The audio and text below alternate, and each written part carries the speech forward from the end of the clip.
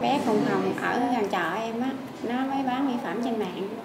Nó biểu em là nhờ là mua tiếp á. Em mới chuyển qua xài con bé đó. Xài khoảng ờ, thời gian chắc cũng cỡ hơn một năm mà bắt đầu là da em nó lên mụn lên mụn mủ rồi à, nó nó lên mụn đỏ á chị.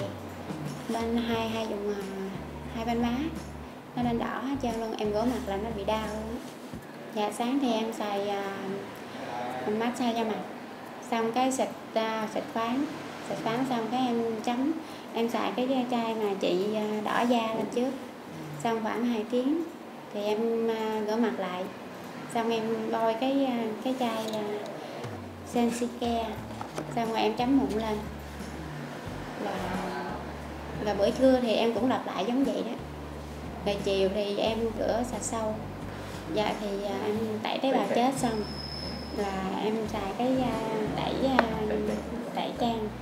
Tẩy trang xong cái mới massage cho mặt lại. Xài cái gel massage. Xài gel massage xong rồi mới xịt, xịt phán. Xịt phán xong rồi mới à, xài cái chai serum. Chai serum xong rồi mới bôi cái chị mụn lên. Da em bây giờ đỡ khoảng tám chín chục phần trăm Dạ. dạ. Chị em phụ nữ thì nên đến những nơi mà có bác sĩ chuyên khoa da liễu à, có uy tín để hướng dẫn mình sử dụng mỹ phẩm cho nó phù hợp với làn da của mình.